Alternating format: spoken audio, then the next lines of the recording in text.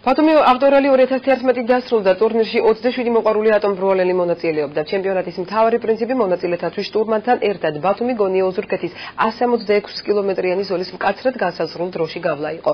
მოყვარულთა შორის კლასიკური ავტომობილის გამარჯვებული ბელა მაღლაფერიძე გახდა.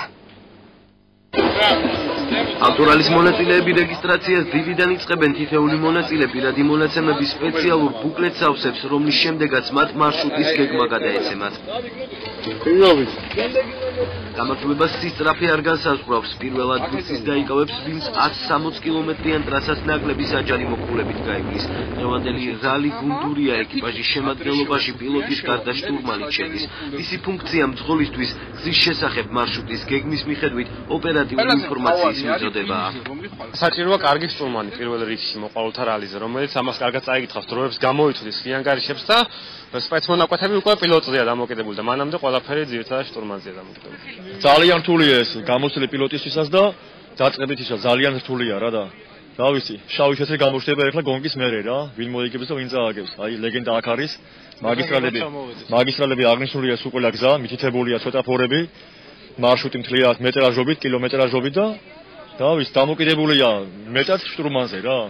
პირველი ეტაპი ბათუმი გონიოს მონაწილეა. გონიოდან კი მონაწილეები უკან ბრუნდებიან და გზას ოზურგეთამდე აგრძელებენ. გზებზე შექმნილია ეგრეთ წოდებული დოპები, საიდანაც მსაჯები მონაწილეთა შედეგებს აკვირდებიან. რალის შემადგენელი ნაწილია ფიგურული მართვა და ჩქაროსნული სლალომი, რომელიც მრბოლელთათვის დამატებითი ქულების გარანტიაა. დაანაზარტულია მით უმეტეს ესეთი რალი ხა ეს რამდენი წელია არ ჩატარებულა ესეთი რაღაცა? ეხა პირველად ტარდება 1-20 წელია თუ 30 წელია არ ჩატარებულა. და პირველად ტარდება ეხლა და ეხა რამდენი ეტაპი გაიარეს და ჯერ გავიარეთ პირველი ეტაპი. ну პატარა შეცდომები გვაქვს რა. ეხლა მეორე ეტაპს გავივლით და ვეცდებით რომ შეცდომები აღარ დაუშვით რა ოზურგეთიდან სპორტსმენები ისევ ბათუმში ბრუნდებიან, სადაც ქულების შეჯამება მიმდინარეობს. საჯების გადაწყვეტილებით 27 მონაწილეს შორის საუკეთესო შედეგი ბელა მაღლაფერიძისა და გიორგი ფირცხალაიშვილის თბილისურმა ეკიპაჟმა აჩვენა. ბევრი სურპრიზები იყო გზაზე, რასაც არ ველოდებოდით და გზაც საკმაოდ კაი მომზადებული იყო, კაი შეჯიბრი იყო და ძალიან ყვაყოფილი ვარ.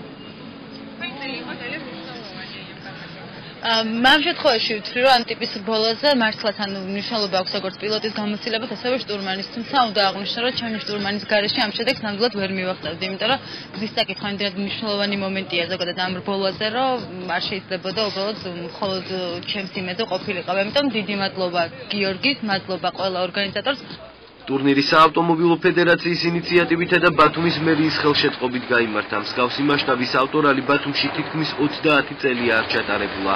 მოყვარულთა შედეგს დადებითად აფასებენ ტურნირის ორგანიზატორებიც. მათი თქმით, მსგავსი ჩემპიონატები მონაწილეებს კვალიფიკაციის ამაღლებაში დაეხმარებათ. აქ მარტო მოყოლს არ აქვს მნიშვნელობა აქ შეუძლია პროფესიონალმაც იაროს ეს შეჯიბრება რა. რადგანაც რალი არის არ აქვს მნიშვნელობა იქ მოყარული იქნება თუ პროფესიონალი იქნება. თავია ეს მოყარულიც ხომ უნდა გაიზარდოს. გამიგე ჯობია იმ პროფესიონალთან იაროს.